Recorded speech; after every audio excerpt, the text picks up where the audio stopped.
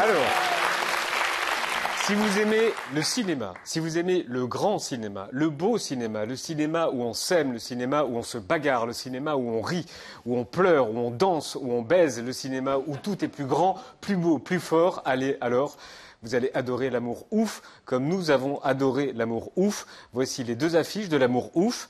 Il y en a une à gauche, où ils sont ados, une à droite, où ils sont adultes. Dans un instant, les quatre acteurs qui jouent les deux héros vont nous rejoindre. Mais tout d'abord, l'homme qui rêve de ce film depuis presque 20 ans. Voici Gilles Lelouch.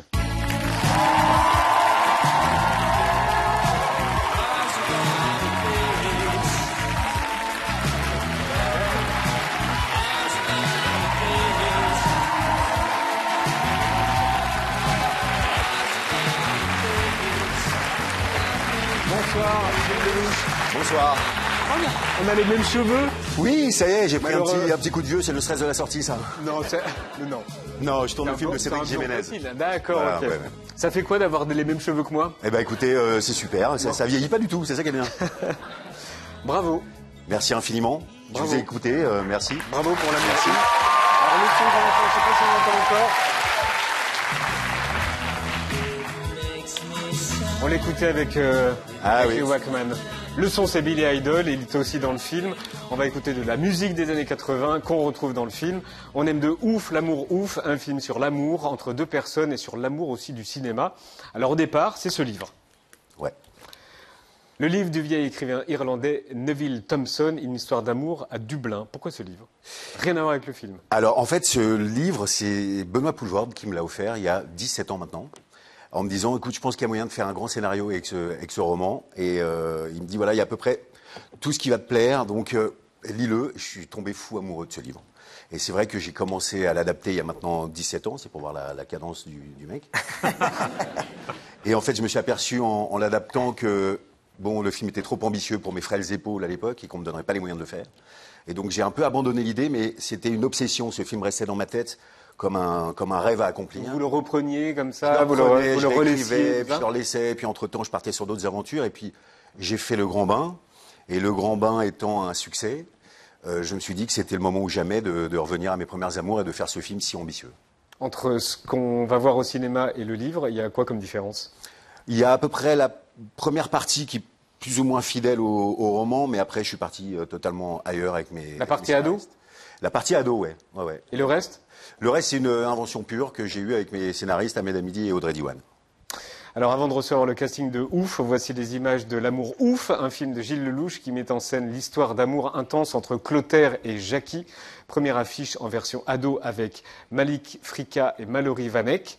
Et la deuxième affiche, qui est la rouge, euh, version adulte avec François Civil et Adèle Exarchopoulos.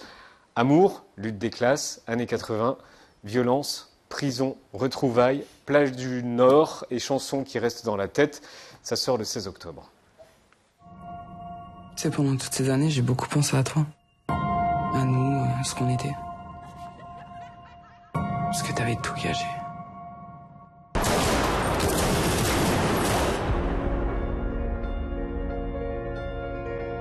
Qu'on était les mêmes, toi et moi. Mais j'ai pas compris qui t'étais en fait. Tu bosses pour moi.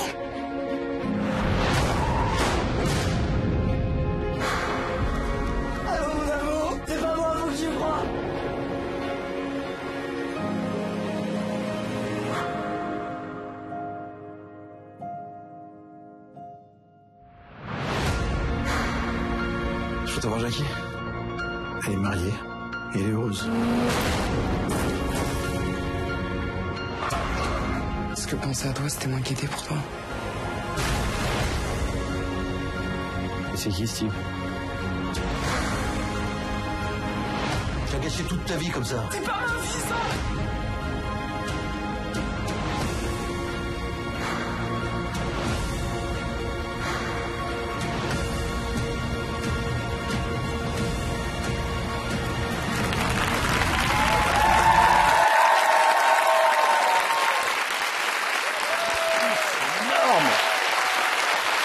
Le 16 octobre. Ah oui, non, je suis complètement serein. Faux Non, j'ai très peur. C'est vrai? Ouais, bien sûr, évidemment. J'ai- hâte d'avoir le retour des- du public, des gens. Enfin, Il y a déjà un très bon retour. Oui, mais euh, c'est jamais suffisant. Vous connaissez les artistes. Beaucoup d'avant-premières ce week-end. Il y a une grande avant-première dimanche qui va être retransmise dans toute la France, qu'on fait à l'Homme à 16h, et qui va être retranscrite avec un débat après le film euh, dans 400 salles en France. Donc euh, voilà. Il y a déjà eu des avant-premières. euh, Oui, et- et ouais, vous, ouais. vous écoutez ce, qui, ce que. Je ne fais que ça, écoutez les Ils disent quoi, les gens eh ben, Les gens trouvent ça super. Peu comme ça. Bah, Appelez-les, un par un. Oui, oui, je vais appeler mes, je vais appeler mes acteurs. Appelez vos quatre acteurs, il y en a mes- plus, mais mes on va en deux parler. actrices, mes deux Jackie, les merveilleuses Mallory Vanek et Adèle Exarchopoulos. Et aussi.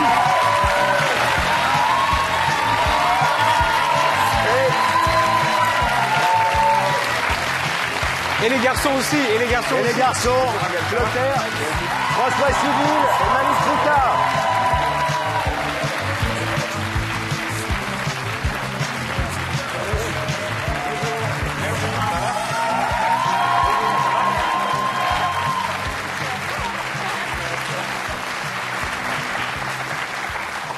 Bon, ben, bravo à vous quatre. vous les avez appelés quand même, les garçons. Oui, oui, je les ai appelés, mais je D'accord. pensais que c'était en deux temps, mais j'ai un peu foiré, je suis pas présent. Alors, vous êtes euh, tous les quatre et les autres aussi exceptionnels dans l'amour ouf. Gilles, pour Adèle et François, je crois que le choix s'est fait dans, euh, lors de Bac Nord, c'est ça?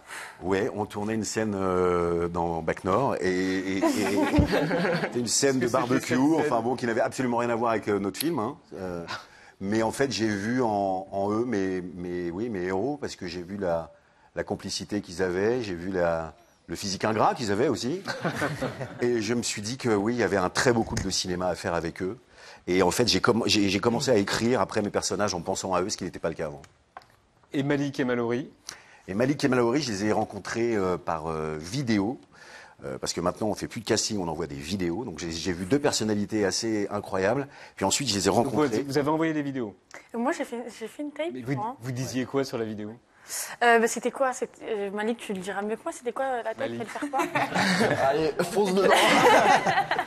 non, en fait, euh, moi, moi j'ai démarré à l'étape euh, photo, donc euh, recherche annonce. Et euh, après, toi, tu m'as, rejoint sur. euh, c'était, on devait répondre à des questions sur l'amour, tout ça, sans, rien savoir du film. Exact. Et après, on devait faire rien du tout, il y avait des questions. rien du tout, rien du tout. C'était un peu au C'est sympa, ça. Ouais, c'est un peu ingrat, ouais. Et Mais quoi- n'empêche que leur réponse était bonne, puisque. Puisqu'ils ils ont été choisis. Voilà, ouais, ouais, je les ai vraiment- François et Adèle, qu'est-ce qu'il vous a dit pour vous présenter l'amour ouf? Est-ce qu'il vous, a... est-ce qu'il vous, a... est-ce qu'il vous a donné ce livre? Non. Ah d'accord, ok. Enfin, non. Non, non, parce que je voulais leur donner le, le scénario. Oui, le scénario. Puisque le livre. Bah oui. En fait, il nous en a parlé euh, euh, à la soirée chiffre de Bac Nord. Et il nous a dit j'ai une grande histoire d'amour. Oui, pour les, pour les, les non-initiés, c'est le soir de la C'est le sortie soir du de la film, sortie, on c'est se ça. réunit en Voilà. espérant que les chiffres de la journée sont bons. D'accord, ok. Et Puis du coup, quelqu'un ils- arrive ils et étaient annonce bons, une donc bonne on ou a une continué mauvaise la nouvelle. fête. Voilà. On a fait la fête, on était tous bourrés, et puis dans un élan de. Et comment il vous a présenté Il m'a ça dit ça fait 17 ans qu'il nous a dit ça fait 17 ans que j'ai un film dans le cœur. C'est une grande histoire d'amour. Euh, je, je- je- je pense à vous. Et on s'est dit, Oh, j'espère que c'est pas la promesse euh, quand le soleil se lève et que donc on s'est regardé avec plein d'espoir. Et un an après, moi, il m'a appelé, il m'a dit, euh, est-ce qu'on peut déjeuner Je vais te proposer mon scénario. Et je suis arrivée à une table euh, dans un restaurant. Il y avait Jean-Pascal Zadi, François Civil, Vincent Ah, il y avait déjà une partie du casting. Mais j'ai trouvé ça exceptionnel parce que ça n'arrive jamais en fait. D'accord. D'accord. Oui, je voulais désacraliser un peu le rendez-vous euh, sérieux, de, on se voit en tête à tête. En Ouais. fait, comme je voulais que ce soit ces quatre acteurs-là, je trouvais ça plus sympathique qu'on soit tous ensemble. Et à quel moment les adultes ont rencontré les ados? Après qu'on ait décroché les rôles, hein, déjà. C'est déjà les rôles. Vous, c'était sûr. Vous, c'était sûr. Et, et vous avez fait une rencontre, c'est Ouais, ça? on s'est retrouvés, on devait faire une lecture, Ouais. ce qu'on n'a absolument pas fait. on a juste tous parlé et je me rappelle François, lui, il est arrivé blond. Euh, l'époque, je me souviens. Ouais, Ouais. si, si. Ouais, c'est ça. Ok. Ici, on, on testait les lentilles, on testait ces, ces choses-là. Ah, exact. Et après, on s'est revus à Marseille où on a vraiment pu passer du temps tous ensemble. Et c'est là où euh, il a passé la porte rasée, moi aussi. Et, po- et pourquoi, pourquoi c'était nécessaire qu'ils passent du temps ensemble alors qu'ils n'ont pas de scène ensemble? Parce que Enfin, ils ont une scène ensemble. On, la- on verra pour tout à l'heure. une, Une. petite connexion euh, pour qu'ils se, pour que voilà, qu'ils se hument, comme on dit. Je sais pas si on le dit du reste, mais mais voilà. Disponible On dit pas. Qu'est-ce qu'on peut dire Non, mais qui se, qui, voilà, qui se, qui, qui jaugent un peu leur personnalité et qui, se- qui accordent leur violon. Donc, est-ce que- est-ce qu'on peut jouer pareil? Est-ce que, est que, par exemple, Mallory, on vous a demandé de jouer euh, euh, comme Adèle? Je pense que chacun a son jeu, mais non, avec Adèle, on n'a pas essayé tant de se ressembler que ça. Parce Fumer que... les clopes? Ben non, justement, on s'est posé la question est-ce qu'on essayait de fumer des cigarettes de la même manière, tout ça? Et en fait, on s'est dit qu'il y avait une réelle euh, évolution dans le personnage et qu'on n'essayait pas de se ressembler parce qu'il y avait une vraie cassure dans le personnage.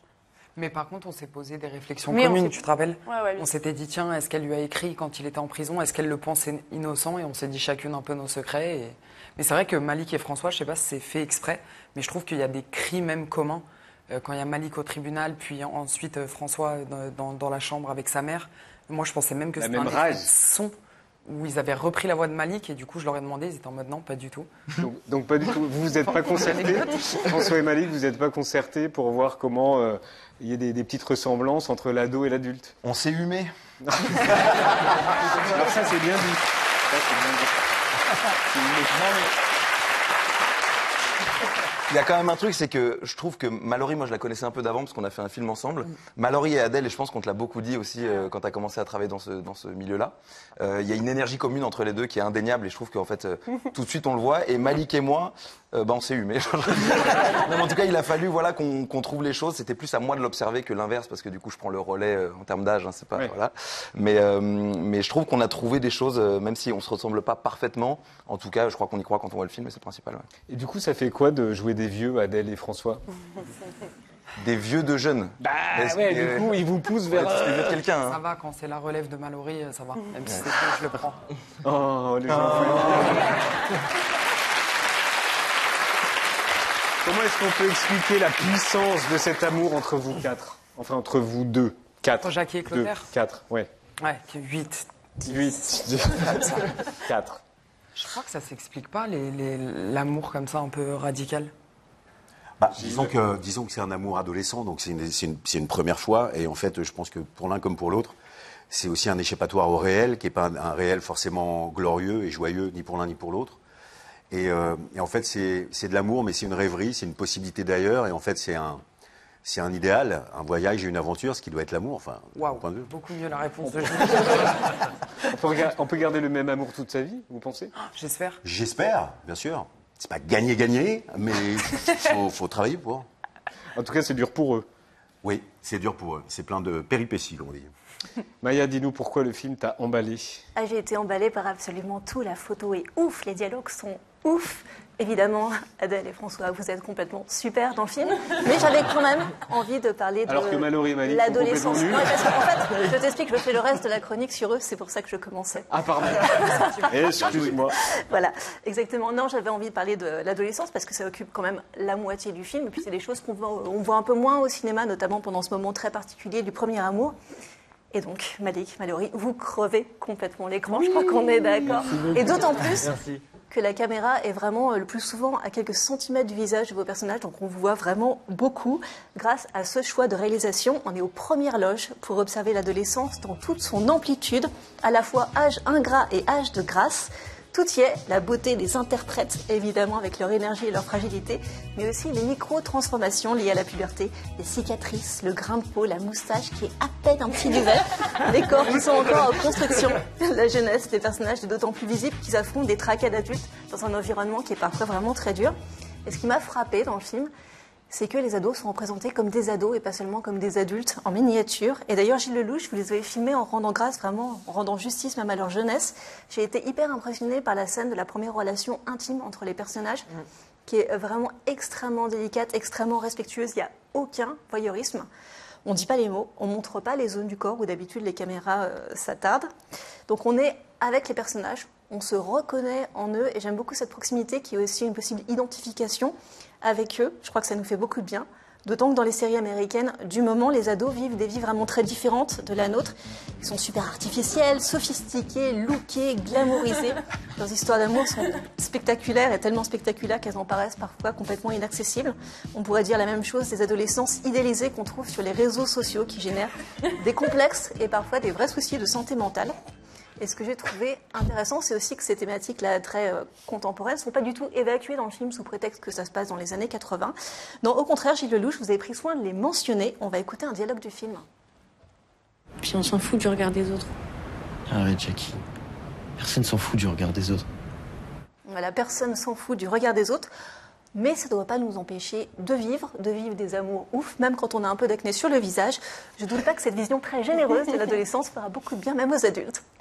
Merci Maya. Est-ce que je peux vous demander si vous avez des points communs avec vos personnages J'ai rien entendu pas. Est-ce que, je peux vous demander si vous avez des points communs avec les personnages Jackie et, euh, et Clotaire Et Jackie et Ce qui est drôle, c'est qu'il y a un petit effet inverse hein, aussi. hein. Ouais, c'est vrai qu'à un moment, on s'est demandé si nous, Ah. les Jackie, on ressemblait pas plus à Clotaire. À Clotaire, Pas dans la Et les colère, garçons mais à Jackie. dans le côté Ouais, Jackie, téméraire. ouais. Ouais. Et, et, euh, Gilles Jackie ou Clotaire Oh, les deux, je pense. Moi, je pense que je suis un peu de tous les personnages. en Ouais. vrai. Ouais, j'ai mis beaucoup de, de moi dans ce film, donc euh, de mon adolescence, de, de mon éducation, de mes parents, de, mes souvenirs adolescents, de mes impressions. Euh, donc oui, c'est un film d'impression, c'est un film de souvenirs, et oui, je pense que je suis un tout petit peu de tous les personnages en vrai. Pourquoi le Nord? Parce que c'est beau, parce que c'est euh, cinématographiquement très, très placé, très graphique. Et puis parce que le roman se passait à, à côté de Dublin, et donc je voulais rendre aussi à- hommage à, à, cette écriture-là. Et puis parce que c'est euh, des régions euh, dont on ne parle pas, mais qui ont souffert euh, socialement. Et j'avais aussi envie de parler de ça, de, la lutte des classes, du déterminisme, du choix de, enfin, de la loterie de là où on est et comment on s'en sort. Et, le Nord, pour moi, ça raconte ça aussi. On l'a dit, c'est incroyable, c'est une incroyable déclaration d'amour au cinéma. Quand on voit l'histoire entre Clotaire et Jackie, on pense à, on va voir les images, à West Side Story. Quand on voit les bagarres, on pense à Outsiders de Coppola. Quand on voit les ados traîner, on pense aussi à Rusty James. On pense au film de Scorsese. On pense au film de John Carpenter. On pense à des teenage movies comme The Breakfast Club. Et quand on voit Malik et Mallory danser dans une séquence incroyable au début, on pense à Footloose, on pense à Flashdance, on pense à Dirty Dancing. Est-ce qu'on a bien fait de penser à tout ça? Ah ben, en tout cas, vous Est-ce avez que- pensé est-ce que vous exactement pensiez- à ce que moi j'ai pensé. Ah, Voilà, c'est ça. C'est ça.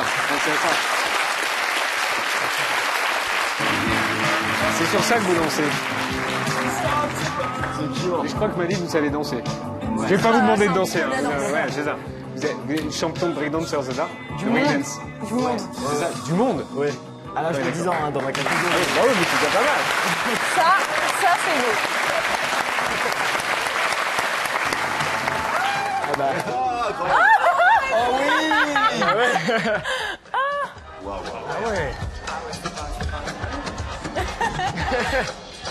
Ça, c'est où, ça Vous avez quel âge Là, je devais avoir. euh, C'est quoi ce truc-là Ouais, je sais pas, c'était sur le moment, c'était un peu d'improvisation.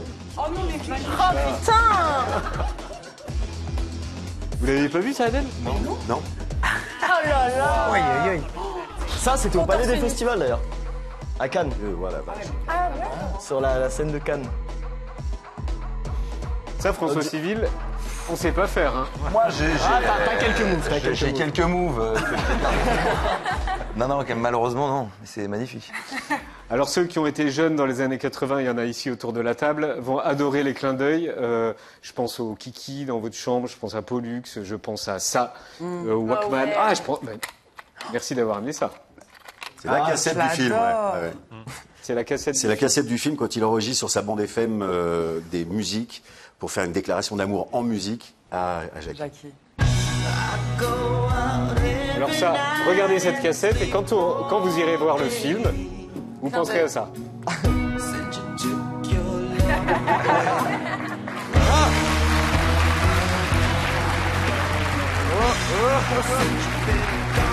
Il y en a deux Alors, est-ce que vous pouvez expliquer ce que j'ai dans les mains Euh, mon personnage, du coup, euh, fait 10 ans de prison, euh, Clotaire, à tort. Il vit une grande injustice. Et pendant ces 10 ans, je pense qu'il a beaucoup de remords, de regrets sur comment il a sans doute traité sa relation avec Jackie. Et du coup, il pense énormément à elle au point que, alors qu'il n'est pas à l'aise avec les mots à la base, il s'achète un dictionnaire en prison. Tout ça est ellipsé, hein, donc c'est ce que je me suis raconté dans ma tête, mais c'est un peu dit dans le film. Et il trouve 457 mots pour la définir. Euh, et qui sont du coup inscrits sur cette feuille.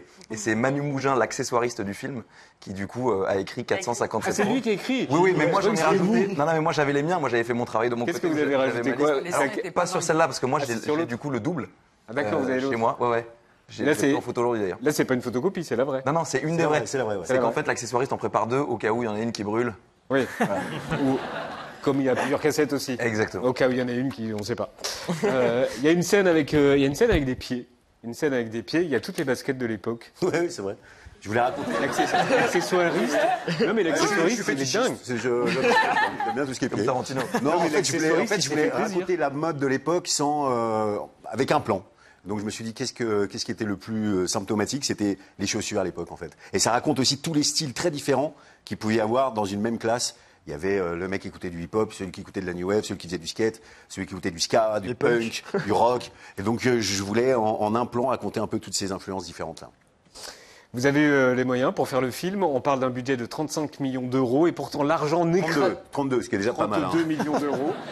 Et pourtant, l'argent n'écrase jamais l'émotion du film. Est-ce que c'est exactement le film que vous aviez imaginé il y a 17 ans? Oh, Le film que vous ouais, aviez rêvé ouais, il y a oui. 17 ans? Ouais, Ou alors, il y a des trucs... Non, mais il y a toujours des trucs où vous faites. Ah, Ah, c'est- Et tant mieux. Je ne saurais pas dire en fait. C'est euh, ce que je ce que j'imaginais pas, c'est ce degré de euh, d'émotion, d'intensité qui est à, à mes acteurs qui sont vraiment extraordinaires.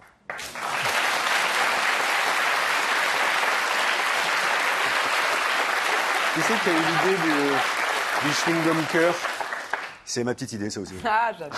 C'est parce qu'en fait, ça me rappelle un peu mes, mes souvenirs d'adolescent. Je sais que j'étais. Je- Juste euh, pour l'e- l'expliquer aux téléspectateurs qui n'ont pas... Ah oui, oui, oui. En fait, euh, En fait, euh, il y, a y a Jackie qui prend son... Je, je peux le raconter ou pas? Absolument, bien sûr. Qui prend son chewing-gum, elle va au lit, euh, elle prend le chewing-gum, elle le colle sur le mur, et ensuite... Je dis ou pas? Absolument. Et ensuite, le chewing-gum se transforme en cœur et qui bat comme ça. Ouais.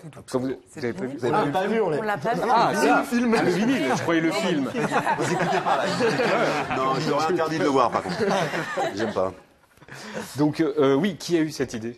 Bah, en fait, j'ai eu cette idée parce que je voulais rendre hommage aussi aux rêveries, euh, aux rêveries adolescentes. Je pense notamment au Walkman où, euh, quand j'étais tout seul, je me réinventais un peu euh, mes, mes- mes journées en écoutant de la musique. Et j'étais amoureux d'une fille.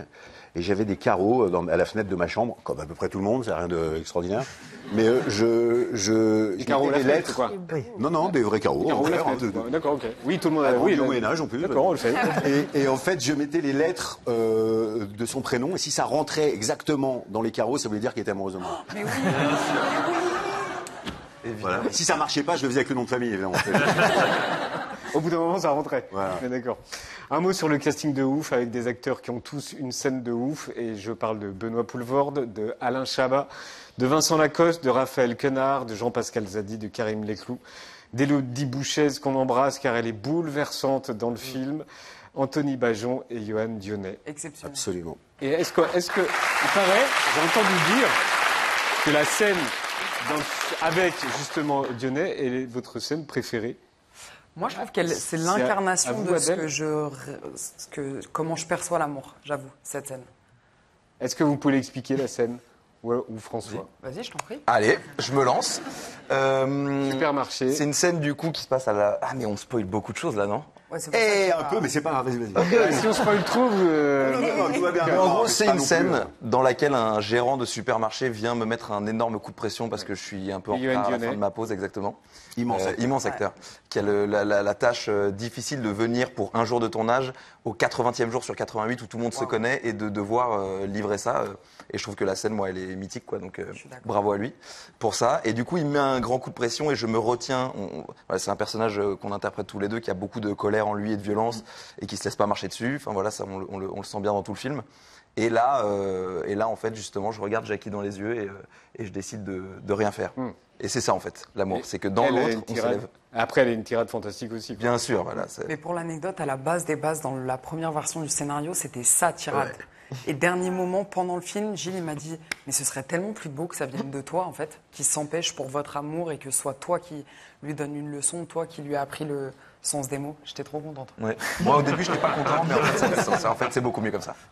Est-ce que je peux vous demander dans quel ordre vous avez tourné? Est-ce que vous avez tourné les ados en premier ou les adultes Non, en en fait, ça a premier? été, euh, Ou euh, totalement mélangé. mélangé. Non, ouais, ouais, ça a été totalement un, un- un bordel. Mais, euh, mais je me souviens. Cinq mois de tournage. Ou, ou quatre mois, quatre mois. Quatre mois de tournage. Quatre mois, ce qui est déjà. bah, C'est beaucoup? Mal. Mais en même temps, j'aurais pu tourner trois mois de plus, tellement j'étais heureux, moi, sur ce film. C'est vrai? Ah ouais, vraiment, j'étais. Oui, c'est probablement la plus belle expérience euh, professionnelle de ma vie. ouais. C'était. euh, en fait, euh, réussir à, à faire son rêve, être euh, monopoliser des gens qui, qui vous aident à construire votre rêve, ou qui avez, euh, voilà, comme, comme vous l'avez dit, 17 ans de, de- de gestation, c'est pas mal. Donc arriver à, à voir qu'il y a des gens qui se monopolisent autour de vous pour, euh, pour le rendre ça concret, euh, c'est tellement bouleversant, quoi. Est-ce que vous avez un mot pour dire comment il réalise? Un mot. Waouh. Mallory. Euh, moi, je dirais bonheur, joie. En amour. Ok. C'est deux. Ali. Non, Intensité, puissance.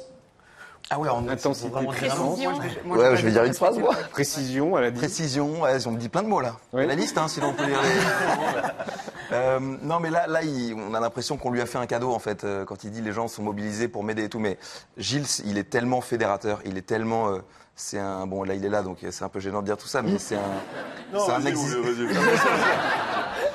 c'est un existant de haut vol quoi Euh, c'est-à-dire que dans la vie sur un plateau autour dans son écoute dans son dans son rire dans son accompagnement dans sa précision euh, c'était un bonheur absolu de faire ce film à côté de lui Et puis, en Adèle. Et en même temps, euh, et puis, enfin moi je sais que ça m'était pas arrivé depuis des années que le dernier jour de tournage d'être en larmes dans un état pareil, d'être profondément triste que l'aventure s'arrête comme c'était la plus belle colonie de ma vie. Et euh, en tant que metteur en scène, moi j'ai vraiment découvert un maestro de créativité, d'originalité, de précision. Et en plus, il a cette euh, reconnaissance de faire le film qu'il aime. Donc tu arrives sur un plateau, il te suffit de suivre la musique du film pour savoir dans quelle rue on tourne parce qu'il y a de la musique. Et il est, il est animé, tu sens qu'il a ça dans le sang, dans le cœur et dans la tête. Et, et du coup, c'est, t'as, t'as envie de tout lui donner parce qu'en plus de ça, il nous a offert des, des personnages euh, qui sont rares dans une vie. Quoi. il est tout rouge Bah oui. Gilles